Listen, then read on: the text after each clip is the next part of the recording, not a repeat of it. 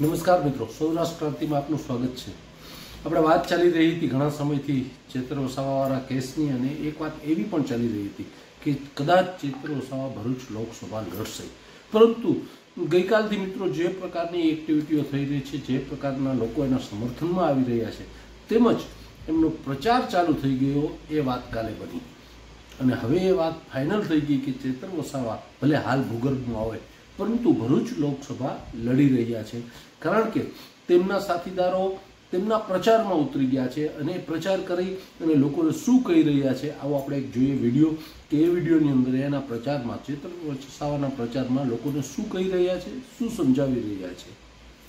હું તેજસ પટેલ છું. આમ આદમી પાર્ટીમાં હું જોઈન્ટ સેક્રેટરી છું. પ્રદેશમાં નર્મદા જિલ્લાનો પ્રભારી. અમારા ડેરિયાપરાના લોકપ્રિય ધારાસભ્ય ચૈતરભાઈ વસાવા. એમનું નામ સાંભળ્યું છે સાંભળ્યું છે?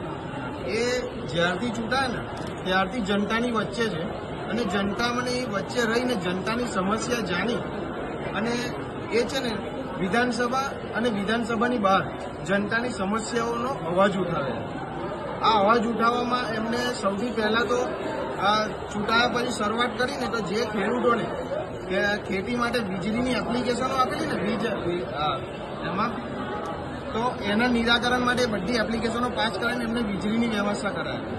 પછી જે જે ગામોમાં બસો નથી આવતી ને બસ રેગ્યુલર નથી એ બધા ગામોમાં બસો રેગ્યુલર કરાવી. બસો રેગ્યુલર કરાવી, વીજળી અપાવી, ત્યાર પછી ખેડૂતોને ખાતર વ્યવસ્થિત નહોતું મળતું, એના માટે એમને કામ કર્યું.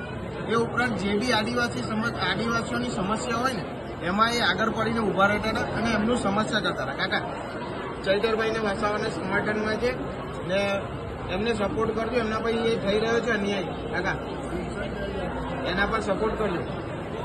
તો આ આ ચૈતરભાઈ જે કામ કરી રહ્યા હતા ને, એ કામથી એક જાગૃતિ આવી રહી છે મતદારોમાં પણ જાગૃતિ આવી રહી હતી.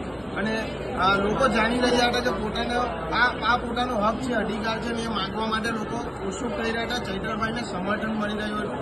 આ બધું જે સમર્થન એમને મળી રહ્યું હતું ને, તે બધા એમના વિરોધીઓને નડી રહ્યું હતું.